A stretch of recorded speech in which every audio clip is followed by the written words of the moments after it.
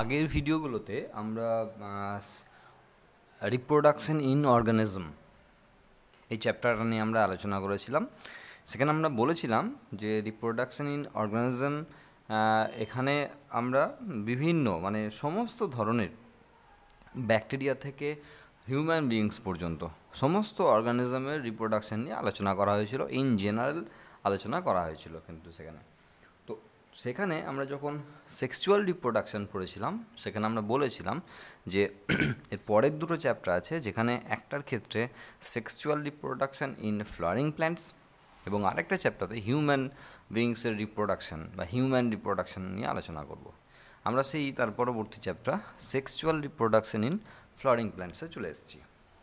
তো প্রথমে জানতে হবে যে টোটাল যে সমস্ত প্ল্যান্ট আছে অ্যালগি থেকে up to angiosperm algae fungi bryophyta pteridophyta gymnosperm, angiosperm, এই যে টোটাল প্ল্যান্ট গ্রুপস আছে, তো এই প্ল্যান্ট গ্রুপকে দুভাগে ভাগ করা হয়, সেটা আমরা জানি।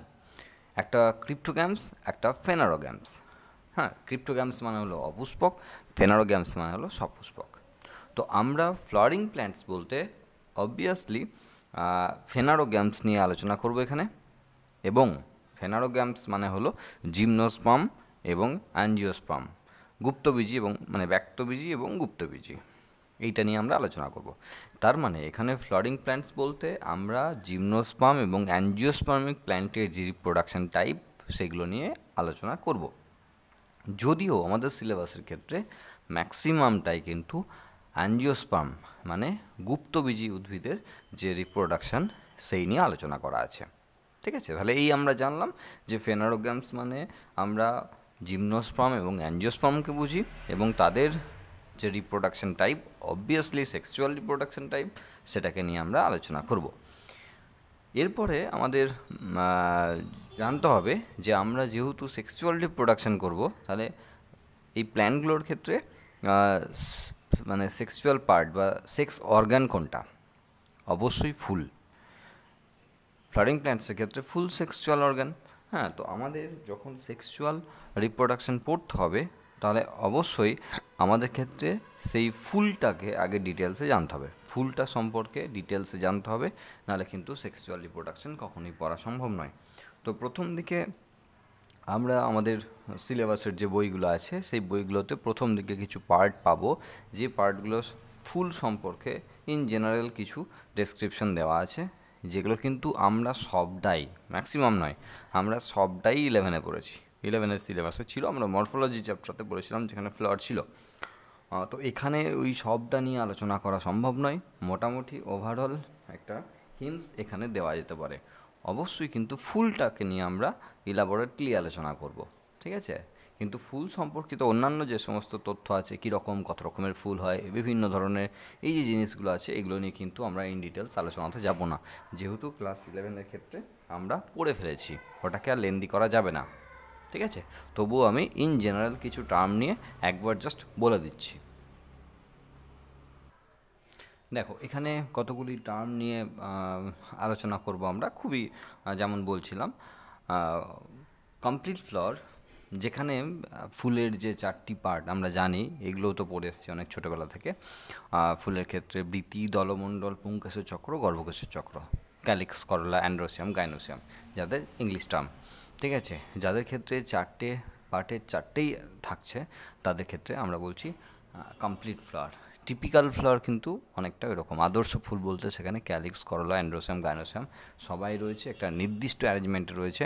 তাদেরকে টিপিক্যাল ফ্লাওয়ার বলে এবং কমপ্লিট বলতে ফুলের যে চারটে পার্ট চারটে পার্টই যদি কমপ্লিটলি থাকে, তখন তাদেরকে কমপ্লিট ফ্লাওয়ার বলছে।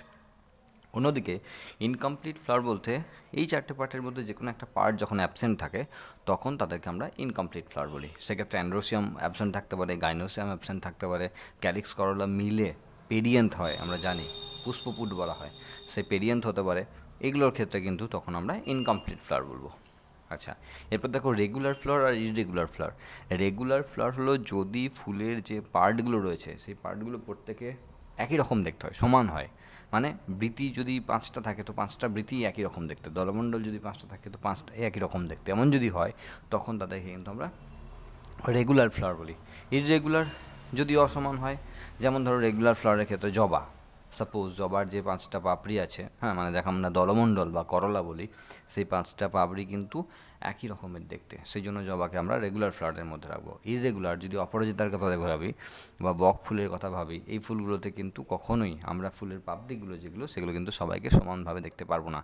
কোনোটা বড়, কোনোটা ছোটো, এরকমের আকার আকৃতি রয়েছে। সেই জন্য তাদেরকে আমরা ইরেগুলার ফ্লাওয়ার বলব। দেখো জাইগোমরফিক, অ্যাক্টিনোমরফিক আর অ্যাসিমেট্রিক্যাল তিনটে টার্ম আবার রয়েছে। তো এই তিনটে টার্মের ক্ষেত্রে, এই তিনটে টার্মের ক্ষেত্রে আমরা দেখো জাইগোমরফিক আমরা একটা সাইন ওখানে দিয়ে রেখেছি, যেখানে একটা ফুলকে যদি আমরা অন্তত পক্ষে দুইবার সমান ভাগে ভাগ করতে পারি মানে আমরা যে কোনো অ্যাঙ্গেল দিয়ে যাব যদি মানে যে কোনো অ্যাঙ্গেল দিয়ে বলতে আমরা ফুলটাকে যদি অ্যাটলিস্ট দুবার সমানভাগে ভাগ করার যদি মানে সম্ভব হয়, তখন তাকে আমরা জাইগোমরফিক যদি একবার মাত্র সমানভাগে ভাগ করা সম্ভব হয়, তখন তাদেরকে আমরা অ্যাক্টিনোমরফিক এবং অ্যাসিমেট্রিক্যাল মানে হলো যাদেরকে কোনোভাবেই সমান দুই ভাগে ভাগ করা একবারও পসিবল না, তাদেরকে আমরা অ্যাসিমেট্রিক্যাল বলি। জাইগোমরফিকের ক্ষেত্রে ধরো জবা, আবার একটি উদাহরণ। অ্যাক্টিনোমরফিকের ক্ষেত্রে ধরো অপরাজিতা ফুল একবার ভাগ করা যাবে। কিন্তু যদি আমরা যদি আমরা অর্কিডের ক্ষেত্রে বলি, এমন ইরেগুলার শেপ অর্কিডকে একবারও সমানভাবে ভাগ করা যাবে না, তখন কিন্তু তাকে অর্কিডকে আমরা অ্যাসিমেট্রিক্যালের দলে রাখলাম। ঠিক আছে? আর ইউনিসেক্সুয়াল বাইসেক্সুয়াল ইউনিসেক্সুয়াল মানে একলিঙ্গ ফুল, যেখানে হয় মেল কিংবা ফিমেল যে কোনো একটা পার্ট অ্যাবসেন্ট থাকবে। মানে ক্যালিক্স করলা থাকছে এবার হয় অ্যান্ড্রোসিয়াম থাকবে। যদি অ্যান্ড্রোসিয়াম থাকে, তাহলে সে মেল প্ল্যান্ট হবে। আর যদি ক্যালিক্স করলার সঙ্গে গাইনোসিয়াম থাকে মানে অ্যান্ড্রোসিয়াম অ্যাবসেন্ট থাকে, তখন তাকে অবশ্যই ফিমেল ফ্লাওয়ার বলব। কেননা অ্যান্ড্রোসিয়াম হলো মেল পার্ট আর গাইনোসিয়াম হলো ফিমেল পার্ট। আর যদি মেল পার্টটা থাকে, তাহলে মেল ফ্লাওয়ার। যদি ফিমেল পার্টটা থাকে, তাহলে ফিমেল ফ্লাওয়ার। আর বাইসেক্সুয়াল মানে হলো যদি দুটো মানে মানে পুংকেশের চক্র এবং গর্ভকেশের চক্র, এই দুটো রিপ্রোডাক্টিভ পার্টি যদি একটা ফুলের মধ্যে থাকে, যেমন জবা ফুলের ক্ষেত্রে, বৃত্তি দলমণ্ডল পুংকেশের চক্র, গর্ভকেশের চক্র, সবগুলোই আছে হ্যাঁ তখন অবশ্যই আমরা কিন্তু বাইসেক্সুয়ালের ফ্লাওয়ারের দলে রাখব তাকে। মানে ইউনিসেক্সুয়ালের ক্ষেত্রে ধরো কুমড়ো একটা কুমড়ো গাছে দু রকমের ফুল হয়। মেল ফ্লাওয়ার হয় ফিমেল ফ্লাওয়ার হয়। তাহলে যেটা মেল ফ্লাওয়ার সেটা শুধুমাত্র মেল পার্ট আছে মানে বৃত্তি দলমণ্ডলের সঙ্গে মেল পার্টটা থাকছে অ্যান্ড্রোসিয়াম আর যদি সেটা মানে ফিমেল হয়, তাহলে সেখানে গাইনোসিয়াম থাকছে। ঠিক আছে? মেল পার্টে মানে অ্যান্ড্রোসিয়াম গাইনোসিয়ামের সঙ্গে ফিমেল পার্টটা থাকছে। তখন তাকে আমরা ফিমেল ফ্লাওয়ার বলছি। কিন্তু বাইসেক্সুয়ালের ক্ষেত্রে দুটো অংশই কিন্তু একসঙ্গে উপস্থিত থাকছে তাকে আমরা বাইসেক্সুয়াল বলছি। এছাড়াও ধরো এছাড়াও তোমরা পড়েছিলে দেখবে এপি গায়নাস সাইবো এপিগাইনাস ফেরি পেরিগাইনাস, এই ধরনের টার্মগুলো আছে, হুম? তো ওগুলো দরকার নেই ওগুলো ইলেভেনের পার্টে এগুলো মোটামুটি আমাদের যেগুলো সব এখানে দরকার আছে, একদমই নাই। আমরা কিন্তু মেনলি ইউনিসেক্সুয়াল বাইসেক্সুয়ালে যদি কনসেপ্ট থাকে, তাহলে আমরা ডাইরেক্টলি চলে যাব এবং অবশ্যই কমপ্লিট ফ্লারকে আইডিয়া নিয়ে চলে যাব। আমাদের এখানে বিষয়বস্তু হলো একটা ফুল এবং একটা ফুলের যে বিভিন্ন অংশগুলো রয়েছে, ফুলের যে বিভিন্ন পার্টসগুলো রয়েছে, সেই পার্টসগুলো নিয়ে কিন্তু আমরা মেনলি আলোচনা করব। ফুলটাকে যদি আমরা ডিটেলসে না জানি, তাহলে সেই ফুলের থ্রু দিয়ে কীভাবে রিপ্রোডাকশন করছে একটা গাছ, সেটা কিন্তু আমাদের জানা সম্ভব নয় কখনোই। সেই জন্য আমাদের ফুলটা নিয়ে একটু আলোচনা করতে হবে। আর একটা ব্যাপার, সেটা হলো আমরা এমন একটা ফুলকে এখানে ধরে নেব, আলোচনার জন্য ধরে নেব, যেখানে মেল এবং ফিমেল পার্ট একসঙ্গে আছে। অন্য কোনো ব্যাপার নয়, শুধুমাত্র বোঝানোর জন্য। একটা ছবিটি দুটো জিনিস যদি আমি এঁকে ফেলি মানে অ্যান্ড্রোসিয়াম এবং গাইনোসিয়াম, দুটো ছবি যদি দুটো জিনিসই যদি দুটো সেক্সুয়াল পার্টি যদি আমরা একটা ছবির মধ্যে এঁকে ফেলতে পারি, তাহলে কিন্তু বোঝাতে পারব। নাহলে কিন্তু মেল ফিমেল নিয়ে প্রবলেমটা থেকে যাবে। একটা ফুলের ক্ষেত্রে আমরা আগে থেকে এটা জানি যে ক্যালিক্স এবং করলা প্রথম দুটো যে পার্ট রয়েছে হ্যাঁ সেই প্রথম দুটো পার্টকে অ্যাক্সেসারি পার্ট বলা হয় এবং অ্যান্ড্রোসিয়াম গাইনোসিয়ামকে এসেন্সিয়াল পার্ট বলা হয়। এগুলো জানি আমরা হ্যাঁ সেই জন্য আমরা কিন্তু এগুলো নিয়ে আর ডিটেলসে আলোচনা করছি না। গাইনোসিয়াম এবং অ্যান্ড্রোসিয়াম এই দুটো অংশ ফুলের কিন্তু নেসেসারি পার্ট মানে রিপ্রোডাকশনের জন্য এই দুটোকেই দরকার। কিন্তু সাহায্যকারী অঙ্গ হিসাবে ক্যালিক্স করলা মানে বৃতি এবং দলমণ্ডলকে লাগে। যেহেতু অ্যান্ড্রোসিয়াম মানে গাইনোসিয়াম এদেরকে সুরক্ষা প্রদান করা বা পলিনেশন বা পরাগযোগে সাহায্য করা, এই সমস্ত কারণগুলোর জন্য কিন্তু বৃতি এবং দলমণ্ডলের প্রয়োজন হয়। সেই জন্য তাদেরকে অ্যাক্সেসারি অর্গান বলা হয়। কিন্তু মেন আমাদের যেটা পড়ার বিষয়বস্তু এখানে মেন যে দুটো স্ট্রাকচার নিয়ে আমাদের জানতে হবে সেটা হলো অ্যান্ড্রোসিয়াম এবং গাইনোসিয়াম আমরা অবশ্যই সেই নিয়ে আলোচনা করব। আগে একটা কমপ্লিট ফ্লডের একটা ছবি আমরা এঁকে দেখব এবং তারপরে ডিটেলস আলোচনাতে আমরা যাব। দেখো, এখানে মোটামুটি একটা কমপ্লিট ফ্লড নিয়ে কমপ্লিট ফ্লডের ছবি আঁকা হয়েছে। যেখানে দেখো যে পার্টগুলো বলছি, একবার দেখো। নিচে একদম নিচে পেডাঙ্কেল বা পেডিসেলও বলা হয়। হুম, এই পেডাঙ্কেলটা হলো বৃন্দ, যেটা দিয়ে গাছের ডালের সঙ্গে ফুলটা আটকানো থাকে বা থাকে। এটা থাকতেও পারে, নাও থাকতে পারে। যদি থাকে, তাহলে সেটাকে পেডিসিলেট আর যদি না থাকে, তাকে সেসাইল এরকম বলা হয়। অবৃন্ত মানে সবৃন্তক, অবৃন্তক এরকম বলা হয়। সেখানে জবা রজনীগন্ধা এরকমের অবৃন্তক, সবৃন্তকের সব উদাহরণ আমরা পেয়ে যাব, এগুলো দেখে নিলেই হবে। থ্যালামাস যে জায়গা থেকে ফুলের যে চারটে পার্ট, সেই চারটে পার্ট বেরোয়, যে চারটে পার্ট আটকানো থাকে যে জায়গায়, তাকে বলা হয় থালামাস বা পুষ্পাক্ষ, ঠিক আছে? এই অংশটা রয়েছে। এরপর থেকে আমাদের অ্যাকচুয়ালি ফুলের পার্ট শুরু হচ্ছে, যেখানে ক্যালিক্স যেখানে ক্যালিক্স যাকে আমরা বৃতি বলি এবং সেপাল, বৃত্তাংশ মানে যদি পাঁচটা বৃতি থাকে, তাকে একসঙ্গে ক্যালিক্স বলব, এক একটা বৃত্তিকে বলব সেপাল। ঠিক আছে? আর করলা অবশ্যই ফুলের পাপড়ি যাকে আমরা বলছি পাঁচটা পাপড়ি থাকলে একত্রে তাকে করলা এবং এক একটা পাপড়িকে বলা হবে পেটাল। এই দুটো ফুলের কিন্তু তোমার নন এসেন্সিয়াল পার্ট মানে যেটাকে আমরা অ্যাক্সেসারি পার্ট বলতাম। সেই পার্ট এই দুটো পার্টকে কিন্তু আমরা নন এসেন্সিয়াল বলব না আমরা অ্যাক্সেসারি বলব। সহায়ক পার্ট হিসাবে এই দুটোকে ধরা হয়। আর দুটো পার্ট যেটা রয়েছে, সেটা হলো অ্যান্ড্রোসিয়াম এবং উপরে গাইনোসিয়াম। এই দুটো পার্টকে নিয়ে আমরা ডিটেলসে আলোচনা করতে হবে। এই দুটো পার্টই কিন্তু আমাদের মেন বোঝার বিষয়বস্তু। দেখো, অ্যান্ড্রোসিয়ামের ক্ষেত্রে দেখো যে পুষ্পাক্ষ থেকে বেরিয়ে এসছে যেখানে লম্বা যে দণ্ডটা আমরা পাচ্ছি, তাকে বলা হচ্ছে ফিলামেন্ট এবং উপরে যে অংশটা রয়েছে, সেটাকে বলছি আমরা অ্যান্থার। এই অ্যান্থার এবং ফিলামেন্ট দুটোকে নেওয়া হয় স্ট্যামেন। এটাকে আমরা অ্যান্ড্রোসিয়াম বা পুঙ্কেশ্বর চক্র বলি বাংলায়, ঠিক আছে? ভালো করে বুঝবে, যদি আমরা এটা তো অবশ্যই কমপ্লিট ফ্লাওয়ারের ক্ষেত্রে বলছি মানে মেল ফিমেল দুটোই আছে, সেই ফ্লাওয়ারের কথা বলছি। যদি এটা মেল ফ্লাওয়ার হতো, যদি এটা মেল ফ্লাওয়ার হতো, তাহলে সেক্ষেত্রে কিন্তু যে ফিমেল পার্টটা মাঝখানে যেটা ব্লু কালারের রয়েছে ফিমেল পার্টটা কিন্তু থাকতো না। এই মেল পার্টই কিন্তু শেষ হতো। আর যদি এটা ফিমেল ফ্লাওয়ার হতো, তাহলে কিন্তু মেল পার্টটা থাকতো না ফিমেল অংশটা থাকতো। যাই হোক, আমরা কমপ্লিট ফ্লাওয়ার নিয়ে আলোচনা করছি। তাড়াতাড়ি বোঝার জন্য, সুবিধার জন্য, ঠিক আছে? তাহলে অ্যান্থার এবং ফিলামেন্ট, এই যে অ্যান্থার রয়েছে, এই অ্যান্থারের মধ্যে পোলেন গ্রেন তৈরি হয়, পরাগরেণু মানে মেল পার্ট যেটা, যেমন আমরা আগে সেক্সুয়াল রিপ্রোডাকশনের ক্ষেত্রে বলছিলাম না যে গ্যামেটোজেনেসিস হ্যাঁ সেই গ্যামেটোজেনেসিস মানে মেল এবং ফিমেল গ্যামেটের যে কনসেপ্টটা হচ্ছিল পড়ছিলাম আমরা, সেই মেল গ্যামেট তৈরি হয় অ্যান্থার মানে অ্যান্থারের মধ্যে। অ্যাকচুয়ালি আমরা পরাগ রেণু বা পোলেন গ্রেন বলি, হুম? তার মানে অ্যান্থার অংশটা কিন্তু আমাদের খুব ভালো করে বুঝতে হবে এবং ফিলামেন্টটা তো ধরে আছে অ্যান্থারটাকে। সেই জন্য ফিলামেন্টটা, বা ফিলামেন্টটা যত বড় হবে অ্যান্থার তত উপরে উঠে যাবে, তত বেশি দূর অবধি, তত বেশি দূর অবধি এরকম আকারে ভাবো, তত যত উঠে যাবে, তত বেশি দূর অবধি কিন্তু পোলেন গ্রেনগুলো ছিটিয়ে যাবে। ছড়িয়ে পড়তে পারবে। যাই হোক, সে নিয়ে আলোচনা করা হবে। এটা গেল মেল পার্টটা আমরা ডিটেলস আলোচনা করছি, তার আগে একবার দেখে নিই ফিমেল পার্টটা ফিমেল পার্টে তিনটি জিনিস রয়েছে। একটা হলো ওভারি যেটা নিচের বড় অংশ, যেটাকে আমরা ওভারি বলছি, যে ওভারিটা পরবর্তীকালে ফলে পরিণত হয়। আমরা এটা আগেও জেনেছি বা আগেও শুনেছি যে ওভারি থেকে ফল হয়। ঠিক আছে ওভারি ফুলের যেটা ওভারি সেটাই কিন্তু আলটিমেট ফলে পরিণত হয়।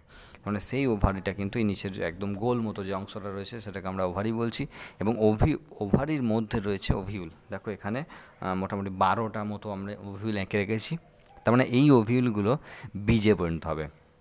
তাহলে ওভারিটা যখন ফলে পরিণত হবে ওভিউলগুলো তখন বীজে পরিণত হবে। তাহলে এই মানে এই ফুল অবস্থায় যখন আমরা একটা ওভারিতে বারোটা ওভিউল দেখছি তখন কিন্তু ফলে গিয়ে আমরা বারোটা বীজ পাবো। ঠিক আছে? এই কনসেপ্টগুলো কিন্তু মাথার মধ্যে একদম গেঁথে ফেলতে হবে। মানে এই জিনিসগুলোতে প্রথম থেকে যদি ভুল হতে আরম্ভ করে, তাহলে কিন্তু পরে গিয়ে সেক্সুয়াল রিপ্রোডাকশান প্ল্যান্টের ক্ষেত্রে কিন্তু বোঝা একদমই পসিবল হবে না। ঠিক আছে? খুব ভালো করে বুঝে রাখো। ওভারির মধ্যে অভিউল থাকছে এবং এখানে যে বারোটা অভিউল আঁকা আছে, এই বারোটা অভিউল যদি কেউ নষ্ট না হয়ে যায়, তাহলে এই বারোটা অভিউল কিন্তু বীজে পরিণত হবে। তার মানে এখানে যতগুলো অভিউল পাচ্ছি, সেখানে ততগুলো বীজ পাবো। ঠিক আছে? এবার ওভিউলের পরে যেটা কন্টিনিউয়াসলি চলছে সেটা হলো স্টাইল স্টাইলের কাজ হলো স্টিগমা একদম উপরের পার্টটা স্টিগমা স্টিগমাটাকে যতটা সম্ভব উপরে তুলে ধরা। তাতে কি পলিনেশন বা পরাগ যোগে সাহায্য করবে। হুম, আমরা পরে এই নিয়ে আলোচনা করব। তাহলে সেক্ষেত্রে স্টিগমাতে এসে পোলেন গ্রেনগুলো পড়বে, যদি এই ফুলের হতে পারে, অন্য ফুলের হতে পারে, যে কোনো ফুলের হতে পারে, অ্যান্থারের মধ্যে যে পোলেন গ্রেন তৈরি হচ্ছে, সেটা অন্য ফুলই ধরলাম আমি, সেই অ্যান্থারগুলো এসে ওই স্টিগমাতে পড়বে। স্টিগমাতে পড়ার পর কিন্তু প্রসেসিংটা শুরু হবে। স্টিগমাতে পড়া পর্যন্ত আমরা ওকে পলিনেশন বা পরাগযোগ বলি। ঠিক আছে? এবার এই যে জায়গাগুলো, এই জায়গাগুলো কখনোই ধরে নেবে না যে ফাঁকা জায়গা। এগুলো সেল দ্বারা কমপ্লিটলি ভর্তি করা আছে। এবার সেটা গাছ ওয়াইজ ভ্যারি করে। তাদের ফুলের ক্ষেত্রে কিন্তু কম বেশি কিন্তু হলো স্ট্রাকচার হতে পারে। কাউরি কাউরি ক্ষেত্রে একদম ভর্তি মানে টাইট থাকতে পারে। ঠিক আছে? তার মানে এই স্টাইল স্টিক মানে ওভারি স্টাইল এবং স্টিগমা এই তিনটে অংশ নিয়ে হচ্ছে পিস্টিল কথাটা মনে রাখবে টার্মটা মনে রাখবে পিস্টিল যাকে আমরা গায়নোসিয়াম বলছি। মানে এটা হলো ফিমেল পার্ট ঠিক আছে? আশা করি এই জায়গাগুলো বুঝতে পেরেছ। একদম বেসিক জিনিস, এই জায়গাগুলো না বুঝলে কিন্তু, এই ফুলের গঠনটা না বুঝলে কিন্তু পরে কিন্তু খুব সমস্যা হবে, ঠিক আছে? মনে হচ্ছে একদম একটা ফুলের গঠন, ছোটো থেকে পড়ে আসছি, এটার জানার কি আছে? কিন্তু ভালো করে বুঝে থাকো এই ফুলের গঠনটা কন্টেক্সট কনসেপ্টে যদি ঠিক না থাকে, তাহলে কিন্তু পরে কিন্তু খুবই অসুবিধা হবে। বিশেষ করে এই যে ওভিউল হ্যাঁ ওভারির মধ্যে যে ওভিউল আছে, আমি আরেকটা জিনিস তোমাকে দেখিয়ে দিই এখানে। নিচের চারটে অভিউলকে একবার খেয়াল করো। হুম। এখন থেকেই আমি বেসিক জিনিসটা বলে দিই। নিচের চারটে অভিউলকে একটু খেয়াল করো। দেখো লাল রঙের আবার একটা কাভারিং দিয়েছি। হ্যাঁ এটা একটা বা দুটো করে কভারিং হতে পারে। এগুলোকে বলে ইনটেগুমেন্ট বা ডিম্বক ত্বক। আমাদের অনেক ক্ষেত্রে বুঝতে অসুবিধা হবে, পরবর্তীকালে বুঝতে আরও অসুবিধা হবে। তখন আমরা ইনটেগুমেন্ট বা যে ডিম্বক ত্বক, তাকে আমরা ওভারির উপর দিয়ে চাপিয়ে দেওয়ার চেষ্টা করব বা আমরা ভাববো হয়তো ওভারির উপরে এই ইনটেগুমেন্টটা আছে। এটা কিন্তু একদমই নয়। বাংলাতে গেলে বুঝতে পারবে, এটাকে ডিম্বক ত্বক বলা হচ্ছে। তার মানে এটা ডিম্বকের উপরের দিকের আবরণ, ঠিক আছে? এই জিনিসগুলো খুব গুরুত্বপূর্ণ হয়ে যাবে পরবর্তীকালে। এই ডিম্বক ত্বক যেটা ডিম্বককে কভার করে রেখেছে, সেই ডিম্বক ত্বকের কোন দিকে পোলেন টিউব আমরা পরে পড়ব কি হয় জিনিসটা? সেটা হলো পোলেন গ্রেন, ওই স্টিগমাতে এসে পড়ে। স্টিগমাতে পোলেন গ্রেন আসার পর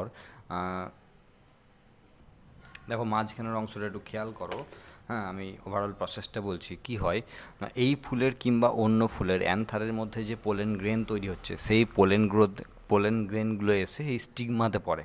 তাহলে পরাগ রেণুগুলো স্টিগমাতে পড়ার পর জার্মিনেট করে। মানে যেমন অঙ্কুরোদ্গম হয় বীজের, সেরকম অঙ্কুরোদ্গম হয়। জার্মিনেট করার পর সেই পোলেন টিউবগুলো এই স্টাইলের মধ্যে দিয়ে নামতে আরম্ভ করে। ঠিক আছে, আমরা পড়ব এগুলো ডিটেলসে আর নামতে আরম্ভ করে নেমে তারপরে ডিম্বকের মধ্যে ঢুকবে। ঠিক আছে?